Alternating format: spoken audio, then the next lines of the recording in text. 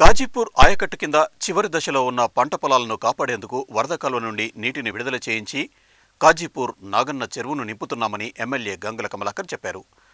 Varadavelli cross regulator వద్ద హారతి ఇచ్చి పూజలు నిర్వహించిన ఎమ్మెల్యే గంగుల వరద కాలువ నీటిని కాజీపూర్ చెరువుకు విడుదల చేశారు. కాజీపూర్ నాగన్న చెరువు ఆయకట్టు కింద సుమారు రెండు వందల ఎకరాల వరి పంటను రైతులు వేశారని నాగన్న చెరువు ఎండిపోవడంతో పంటలు కాపాడుకోవాలనే తపనతో రైతులంతా ఎమ్మెల్యే గంగులకు విజ్ఞప్తి చేశారు. దీనికి స్పందించిన ఎమ్మెల్యే ఈ విషయాన్ని మంత్రి హరీష్ రావు దృష్టికి తీసుకువెళ్ళి ఎస్ఆర్ఎస్పీ అధికారులతో మాట్లాడి వరదవెల్లి దగ్గర ఉన్న క్రాస్ రెగ్యులేటర్ వద్ద నుండి నీటిని వదిలేందుకు అంగీకరించారు. ఎమ్మెల్యే చొరవతో తమ పంటలను కాపాడుకున్నామని రైతులు ఆనందం వ్యక్తం చేశారు.